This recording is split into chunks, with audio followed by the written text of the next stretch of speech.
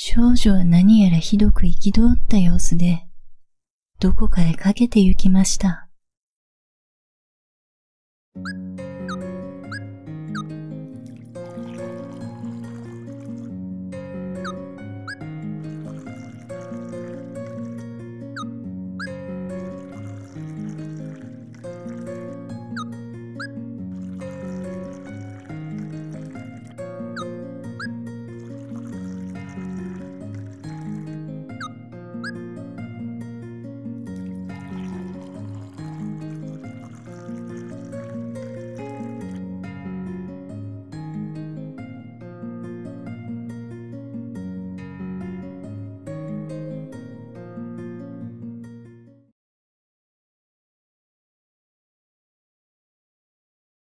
もはやそこには誰も存在しなかったので、それを知る者はありませんでした。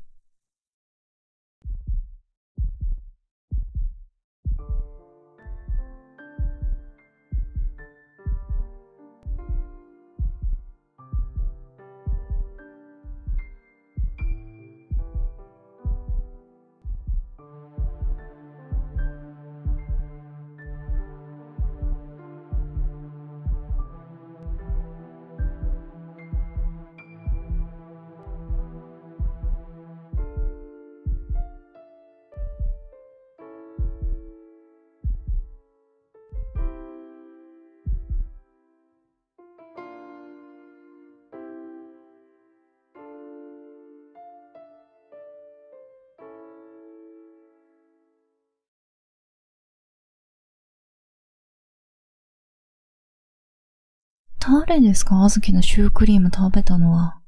地獄の底まで追い